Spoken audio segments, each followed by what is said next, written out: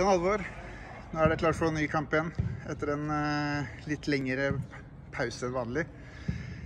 Nettopp ferdig med første, siste, siste økt. Hvordan har det vært? Jo, det ser bra ut. Så tilbake på Bislett og på gress. og det blir noe klipp på kampdag, så det, den kommer til å bli veldig fin uh, i morgen. Så vi gleder oss til kamp igjen nå. Så i og med at vi ikke hadde kamp i helga pga. vi spiller mot Kjelsås 2, da, som må spille dagen etter førstelaget, så, så er alle gira. Hvis vi går uh, noen runder tilbake, så har vi jo to seire på rad. Det er uh, ja, nå sist Stabæk. Solid, bunnsolid seier. Kan du ta oss litt gjennom de to siste kampene? Ja, veldig fornøyd. Vi slo jo Fyllingsdalen hjemme her, 3-1.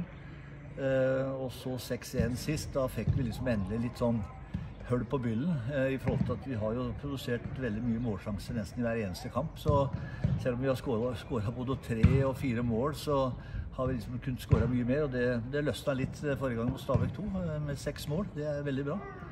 Og så er det ny kamp i morgen. Det blir en ny, tøff kamp, så, men vi gleder oss. Og Eh, det ser veldig bra ut. Seks seier og to uavgjort så langt, så nå gjelder det bare å være på den trepoengsveien hele, hele tida. Vi møter jo et, et, ja, et nok et eh, rekruttlag eh, som har startet med det er vel tre uavgjorte og en seier, hvis ikke tar helt feil. Men ja, man vet jo aldri helt hva man kan forvente. Hva er dine tanker om ja, nei, Jeg tenker egentlig ikke så mye på det. Nå har vi jo møtt en del andre lag allerede. sånn at Eh, at eh, vi må bare ha fokus på oss sjøl, for du vet aldri åssen de kommer, åssen lag de har og åssen de tenker opp igjen eh, mot en kamp mot oss. Det kan være slå alle veier. Så det vi ikke, bruker vi ikke så mye tid på. Så vi må bare ha fokus på oss sjøl, og så fokusere på prestasjonene våre, som har vært bra nå, og vært stigende hele tida. Så håper vi at vi kan få til en veldig god kamp i morgen også. Nå sitter vi på hovedtribunen på Bislett stadion. Har du noen, noen ord Eh, til de som skal sitte på motsatt, eller stå på motsatt side?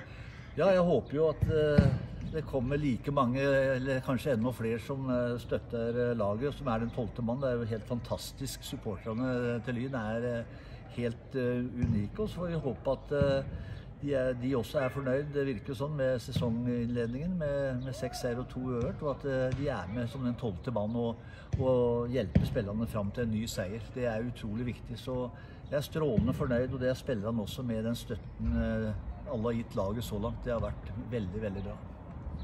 Da er det bare å, det gjenstår bare å ønske lykke til i morgen. Ja. Tusen hjertelig takk.